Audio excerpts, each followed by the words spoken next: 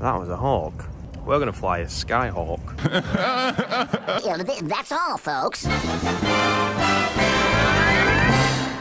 Alright boys and girls, welcome back to another video. Mike's doing his pre-flight on 670 Mike Alpha, the wonderful Skyhawk. Wonderful using that loosely. Today's flying adventure takes Mike, not me, solo from here in Orlando over to uh, an airport called Leesburg. You've seen me go to Leesburg with a few students on the channel before. Mike's going to do that solo for the first time. First time away from home. Exciting day. Seems ready. Seems confident. What we're going to do, because obviously the instructor doesn't get to go with the student, completely helpless, can't affect anything and doesn't see what's going on. But modern technology with GoPros means that I can send my GoPros with him as kind of my eyes in the sky. After the flight's finished and I get home, I'm going to record reaction to what Mike did on this uh, particular solo. But first things first, I need to go up with Mike and make sure he's okay, make sure he's confident, make sure he's proficient. Welcome to the video. Subscribe to the channel if you're not already. Again, if you enjoy the video, leave it a like.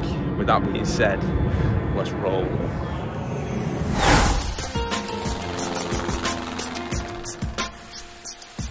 Reserve Mike Alpha Base, your discretion, runway 25 clear to land.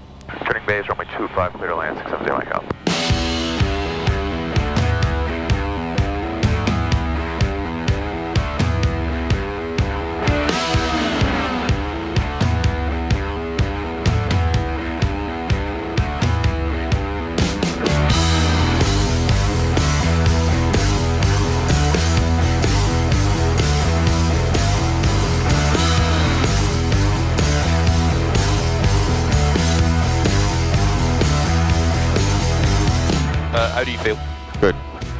Yeah? I feel good as well. feel very good. Like if you, I don't know if you realise, but I've just been sat back chilling. Which is what you want to see, man. You remain clear of the Bravo, no issue whatsoever. You're doing your checklists. Got to make sure to lean the mixture once you're at cruise. Obviously for takeoff and landing it can be full. Um, but just do just use checklists. If something doesn't feel right on the landing, what are you going to do? Go around. Yeah. And if like you go over to Leesburg and Leesburg doesn't look good, just swing it around, just come straight back, no issue. Uh, like like we said, they're probably using runway two one. Okay. Uh, so expect like a, a left downwind for uh, two one probably over there. Got any questions? Any concerns? Uh, it's, it's like I'm flying with a pilot. 1419, You know, it's like oh, I appreciate that. Continuing Alpha Absolutely. Cross man. 13 1490. Absolutely. Reached the landing, did perfect, everything else. Now, what I will say is I'm going to leave my headset, my GoPros, um, and my, my flight bag in here. That's precious cargo. All right? take care of it. Your mission is to get it from Lees to Leesburg and back safely. All right? I don't know. Pick up the cocaine and then I'll be waiting for you, all right? all right, man. Good luck. All right. Have fun. Thanks.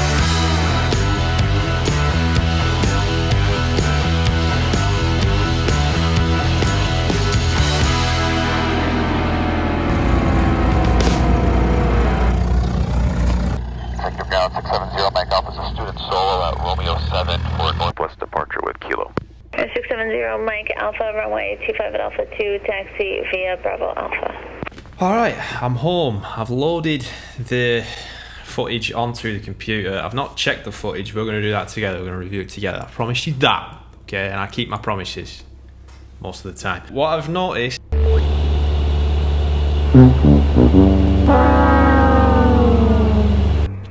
So that's good.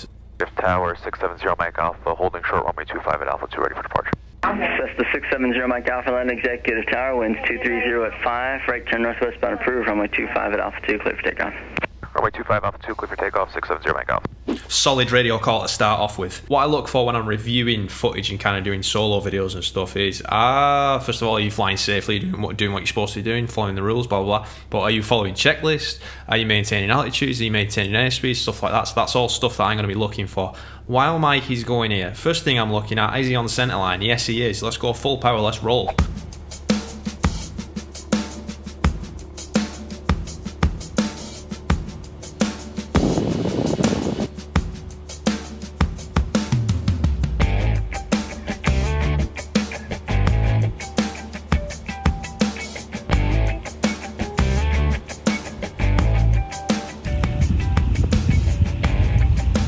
Welcome to the sky, brother. Oh no, watch for that pole bang. That's pretty cool. Mike is uh, notorious for being very quiet when he flies on his own. Like he's, he's a quiet character. He keeps himself to himself. Not that doesn't mean to say that he doesn't, you know, do the stuff he's supposed to be doing. Like right now, he's making a, a turn out towards the northwest. He's keeping it away from downtown Orlando. His thought process there is obviously he doesn't want to fly low over buildings, which I completely agree with. Making it look easy. And thank you, Mike, for moving the air vent because that was. Uh, that's blowing on the microphone. That's about all the sound we're going to get from. He's still fighting it.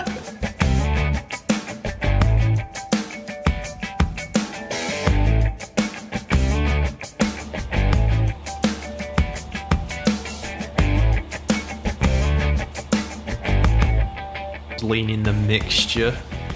Good.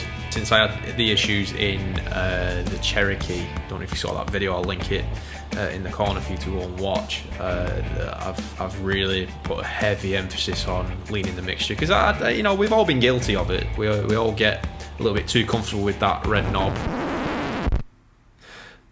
Uh, so I've started to drill into people that you know you don't be scared of that, that that red lever kind of bring it back. So it looks like he's just outside the delta airspace which means he's outside from underneath a bra- uh, the 1600 foot bravo layer which is good. and it's simple. It's straight. Look at him. He's in cruise. He's just cruising along. Easy. Cessna Zero Mike Alpha, there's traffic at your 1 o'clock and about 4 miles uh, southeastbound 1100 Cessna. Uh, look for the traffic, 670 Mike Alpha. At Tower 582, we have a traffic in sight. No factor. Number 582, Roger. Cessna Zero Mike Alpha, previously called traffic, has you in sight. Uh, they're just about to pass about a half mile off your right side.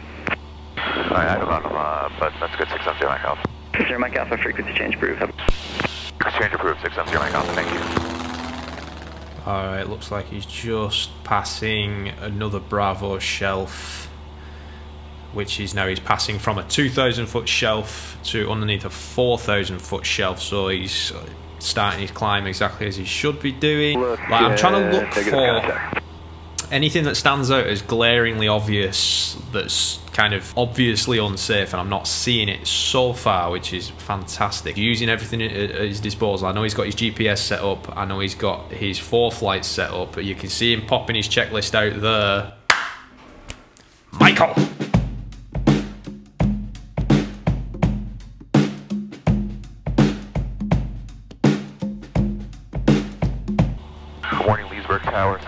670 Mike Alpha. Cessna 670 Mike Alpha, Leesburg Tower.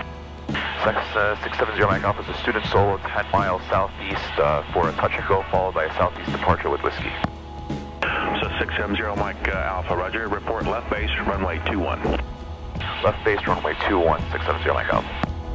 I'm just listening to the the live ATC thing. He sounds so good on the radio. and it's true man He sounds like he knows what he's doing and he does so he's got a left base for runway 21 I, we did kind of brief that together I actually told him he's probably going to enter on a left downwind but obviously he's doing a left base so he's got to adjust because that's not a, a standard entry right? You usually enter on a 45 for a, a downwind let's see how he deals with it. It's not much of a change but still you know if, if you're not ahead of things and you don't kind of open that mindset to you know something different happening. You know it's uh, it can be a little bit confusing. So it looks like he's descending down uh, nice and slow. He's through 1700 feet at the moment descending in. I can see the lakes there ahead of him which is a, an- one of the indicators that you're getting close to leesburg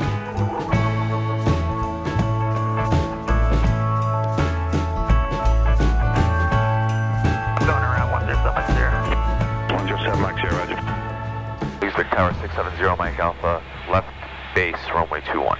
7 Mike Sierra, just disregard those last transmissions, my mistake. It's all good. Uh, we were just a little confused there. Uh, we're, we're going around anyway, so Mike there. 670 Mike Alpha, you're following the uh, bi wing that's off your left front turning base. Uh, look for the traffic, uh, 670 Mike Alpha. Nice. There was a, a flight that me and Mike did where, and I hope he doesn't mind me saying this, he got a little bit nervous entering the traffic pattern where there was a bit of traffic uh, just ahead of us, probably about a mile away from us, and he got really nervous. Number Um, 670 Mike Alpha, you had the uh, bi wing turning final. I've got the traffic, 670 Mike Alpha. Oh, Mike Alpha, runway 21, clear for touch and go. Clear touch and go, runway 21, 670 Mike Alpha.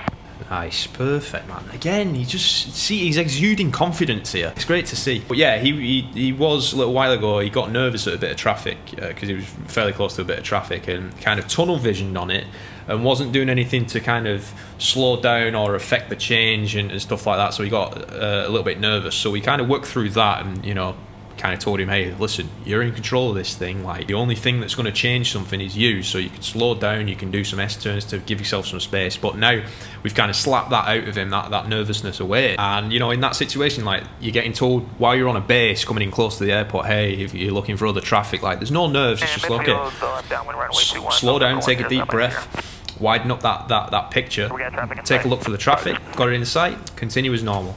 It's good to see. He's on final. Let's see. Let's have a look at his airspeed here. His airspeed is looking looking beautiful. He's got a good height, 65 knots.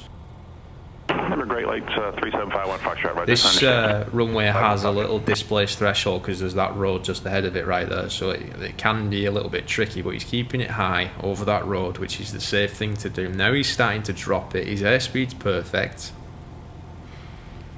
Let's see how the landing is.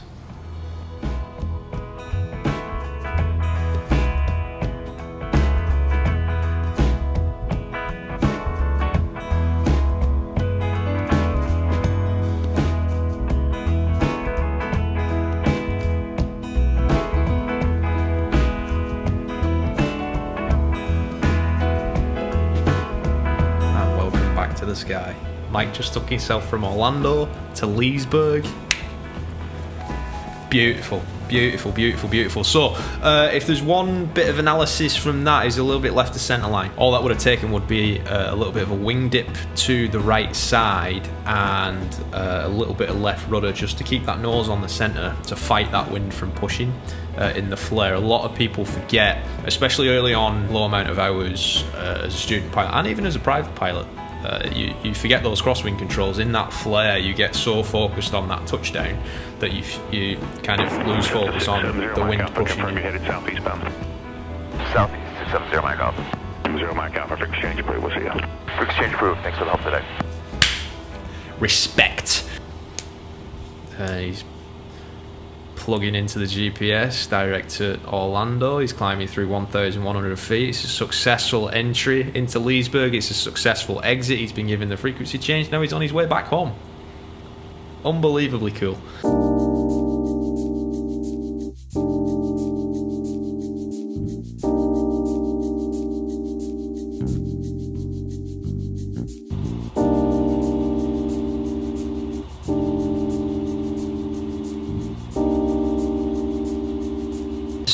I've just kind of skimmed through as he's coming back towards Orlando. Looks like he's at uh, 1500 feet at the moment. It seems one thing as he's as he's picking up the weather. I think he did it as a flow uh, because I saw him leaning the mixture once he got to cruise, but I didn't see him go back and check through the uh, climb and cruise checklist. That's something that's an important thing, right? I'm all for doing checklists as flows, no issue whatsoever doing it, but you've always got to back it up with something uh, back it up with that checklist just to make sure you've not missed something because your flow, you might miss something on that flow. You know, you never know. Traffic, 11 o'clock, low, one mile. He's got a traffic alert, both on ForeFlight and on the GPS. He's taking a look. You know what? It's, it might sound so simple but he's definitely checking out to see where that traffic is and he's giving it a good look. That's great. I sent him a message uh, last night and I said, listen, you're going to go solo. It's all about maintaining, you know, flying the plane well, but also maintaining vigilance, checking out for traffic and doing stuff like that. And he's implemented that perfectly. 670 Mike Alpha, line executive tower. 670 Mike Alpha, student solo 10 miles northwest, full stop with Lima. So 0 Mike Alpha, and right down runway 25 right downwind runway 25670 Mike Alpha.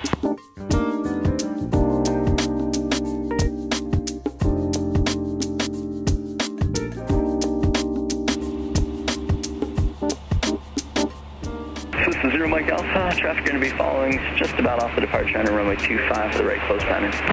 Alright, look for traffic, uh, Zero Mike Alpha.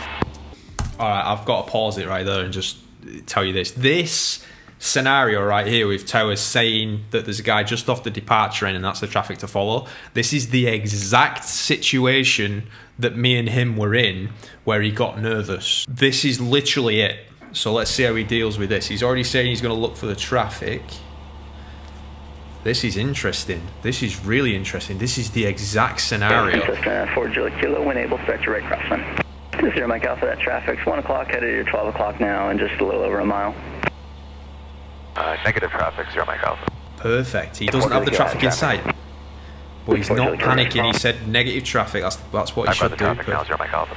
Zero Mike Alpha, follow that Cessna. Follow the traffic, zero Mike Alpha. He's got the traffic in sight. Good man. Good man. No panic. No panic, no nerves.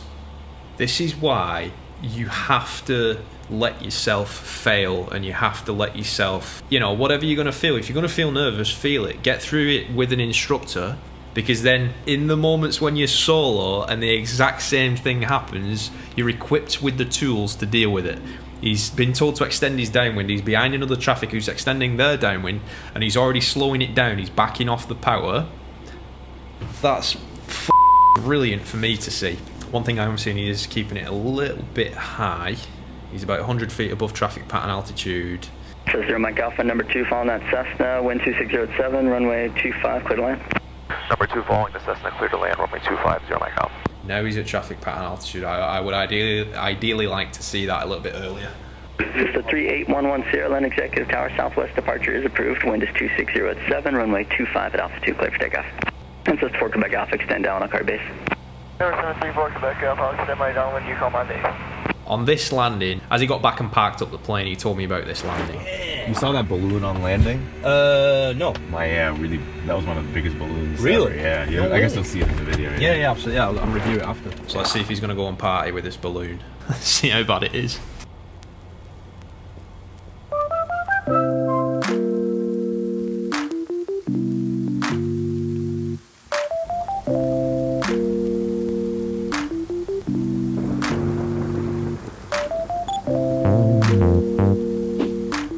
He's at a decent speed, 65. He's fine on speed. He's around 60 now, which is fine. A little bit of shakiness there. There's the balloon.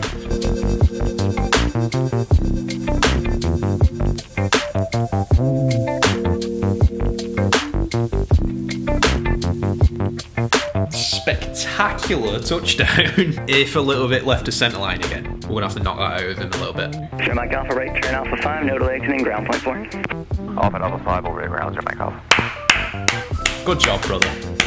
Good job. Took himself from Orlando to Leesburg, back to Orlando, solo, dealt with a balloon. No, he's zero Bravo Romeo, lanes to go to ground. 80 Bravo Romeo taxi Alpha 4 to SBS. No, he's zero Bravo Romeo, you can't stop on the runway. Get off the runway. Taxi to the ramp via Alpha Bravo. And via Alpha Bravo 80 Bravo Romeo. Uh, You cause to go around, and then we have someone that's on the runway as well. My friend! Good job, man. Thanks. How was it? It was really good. Yeah? That was one of the biggest balloons. Really? ever. Yeah, yeah. No I guess way. you'll see it in the video. Yeah, yeah, absolutely. Yeah, I'll, I'll review it after. Yeah. It was a. Oh, so but you, you obviously you didn't go around, so you. you No, no, no, yeah, I just, I just gave it a little bit of power. Nice. Settle it down and kind of nice. You've got two options. You can either go around or you can save it. He decided to save it, so the save it like we, we've worked on saving it before because it happens all the time when, you, when you're learning to land it. The, the way that I taught him to save it was to add a little bit of power, push the nose down, kind of re-stabilize, and then pull the power off, and then go back for the transition and flare again. And he did exactly the right thing with a little bit of balloon because at one point he was going to a party, he was filled with helium, but he saved it, and the confidence of this whole thing has been great. Takeaways from this flight are checklists. So always back up what you do with a checklist. That's first of all. Uh, over in Leesburg, uh, the landing was left to centre line. Back in Orlando, the landing was a little bit left to centre line because the focus, uh, we, we all do it, the focus goes on to getting a nice smooth touchdown and not so much on directional control and keeping the, the aircraft on the centre of the runway. That's what you should be aiming for. So what you've got to do, instead of over focusing and getting that tunnel vision on that uh, transition and that flare, you've kind of got to open it up a little little bit and be dynamic with your with your feet as well as your hands. It could also come down to instead of looking directly ahead in front of you on the runway, kind of open up that view and kind of look a bit further down the runway. And that's also going to give you a good view of where you are in relation to that center line. The last thing that I would say is uh, just slightly high in the traffic pattern in Orlando. Other than that,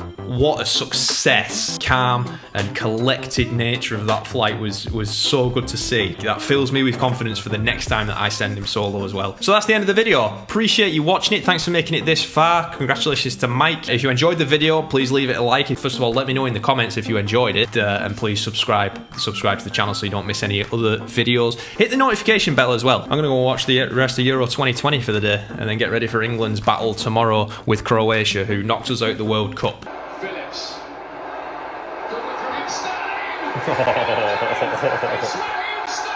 in the boys. All right, have a good one. See ya. Thank you.